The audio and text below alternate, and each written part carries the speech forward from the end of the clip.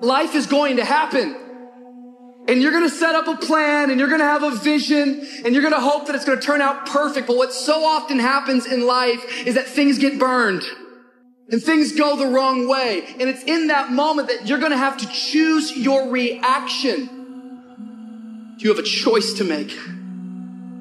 Do you have the right reaction or do you have the wrong reaction? You have to get up. Sometimes life will take you to your knees. Sometimes you have to cry. Sometimes will hurt deep inside. In time of adversity, you don't have an obstacle to deal with. You have a choice to make. You will fail. You will likely fail often. It will be painful. It will be discouraging. At times, it will test you to your very core. You're thinking about quitting. You're thinking about giving up. You are folding. You are caving in. This is for you. Don't give up. Don't give up. Stay in it. Stay focused. If it feels kind of dark all around you right now, I want to remind you it is always the darkest before dawn. There's one thing about being in dark places. If you have the courage to stay in there long enough, your eyes will start to adjust to the darkness. Your body and mind will always adjust to more suffering, to more pain. If you want to push harder, know this. Your mind quits way before your body does. So you have to be willing to go way into that darkness and find more yourself. You gotta look at life when life knocks you down and says, This all you got? The dark? Is this it? I was born in the dark, shaped in the dark, molded by the dark. I will break you. You recycle your pain. You use your pain.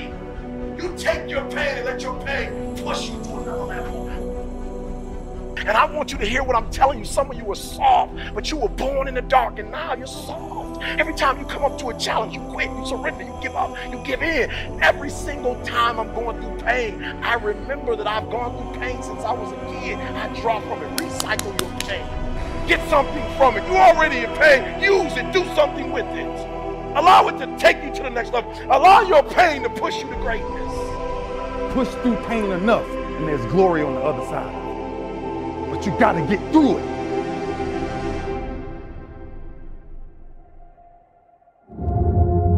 The sun doesn't shine every day. The storms will come. If you are going to try something hard, if you're putting yourself out there in some way, there are going to be times where you screw up or you don't succeed. There are times where you do everything right and you still don't succeed. You'll go through some failures.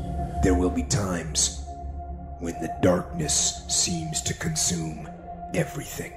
And many times when those things happen, you want to give up. But during those down moments, that's where the growth takes place.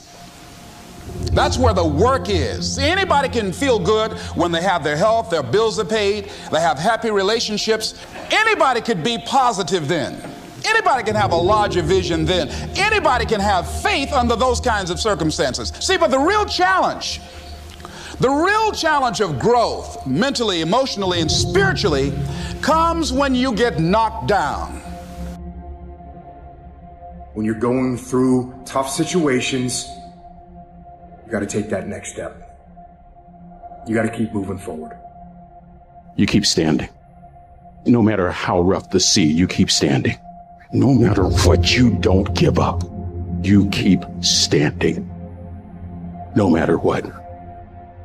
We decide which moments define us. Will it be the moment we get knocked down?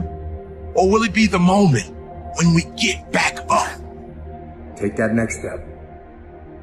Keep moving forward. And, and I think that the most important thing is to learn from those failures uh, and to have a sense of resilience and be able to examine what is it that I did not succeed at? Why didn't I succeed? And what do I need to do better? You lay hold of it And when that thing tells you to quit, you look at it in his eye and say, I ain't going nowhere. I will break you before you break me. You will not defeat me. You will not destroy me. Some of you are so ignorant. You've been through so much hell. You gonna quit now? You should have quit 10 years ago when he walked out on you. You don't quit now. You should have broke me a long time ago. I'm unbreakable now. And we've all had experiences where we were working on something and we knew it was possible and we did those things that were necessary to bring it into reality. We took the responsibility to make it happen. Other people couldn't see it. A lot of people didn't believe it. You were attacked. You were criticized. People were opposing you, but you kept on doing it. It was hard. It was rough. It was difficult. But to you, it was worth it. And eventually you got to a level you know, can nothing stop me now. I'm on the move. I'm on the move. You can't quit. I know it would be momentary relief, but can you see past the expense to see the benefit? Life will knock us down, but we can choose, matter or not, to get back up.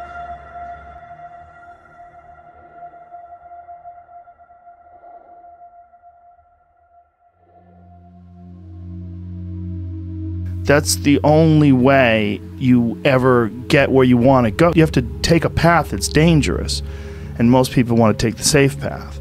And the safe path leaves you stuck in quiet desperation. The way you can change is you have to put aside enough money to give yourself a window. And then you have to have a plan. And you have to spend all your waking hours outside of whatever shit job you do planning your escape. So, whatever you're doing, you have to do it like your life depends on it. You got to go, you got to get after it, and you got to have discipline. Most people don't have those things. Most people don't understand what it's like to really go for something and to know that the consequences of not doing that are horrific. If you need to change your job too, let's say you have a family and children and, and a mortgage, you have responsibilities. You've already picked up those responsibilities. You don't just get to walk away scot free and say, Well, I don't like my job, I quit. That's no strategy. But what you might have to do is you think, Well, this job is killing my soul. All right, so what do I have to do about that? Well, I have to look for another job. Well, no one wants to hire me. It's like, okay, maybe you need to educate yourself. Maybe you need to sharpen your social skills. Like, you, you have to think about these things strategically. If you're going to switch careers, you have to do it like an intelligent person. That might take you a couple of years of, of, of effort to do properly. We're built for struggle, us human beings. We're built to contend with the world. We're built to contend with reality. You want a challenge. And the best way that you can take on a challenge, because a challenge fortifies you. So you don't want to be secure, you want to be strong. And you get strong by taking on optimal challenges. And so you lay out your destiny in the world and you take the slings and arrows of fate and you make yourself stronger while you're doing so. And you might fail and fortune might do you in, but it's your best bet. What you're missing is the courage to take action in the direction of your dreams. Because it's irresponsible to do what you really want to do, or so we've been told. If you just follow your heart, just follow that strange thing that's happening inside you, you will end up 10 times better, miles ahead, miles ahead of all those people who did what they were told. And those miles ahead are very subjective. It doesn't necessarily mean that you're going to make more money than them or you're going to be more rich and famous than them, but you will be more at peace. You will have more peace of mind. You will be more in love with yourself and your life.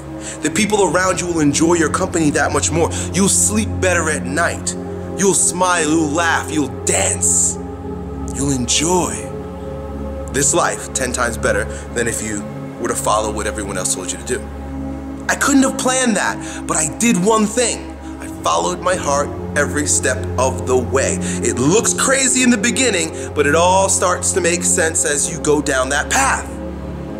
That's why I say you have to follow your heart. Not because of the thing that your heart is telling you to do at this particular moment, but because of the journey your heart will take you on. It's gonna take you on a incredible journey. The end point of that journey or how you fare along that journey will be filled with love and pleasure and joy because your heart is involved with the work. Ignore sensibility, ignore responsibility. listen to your body, follow your heart, and you'll enjoy this journey of life. It won't always be easy, but it'll be yours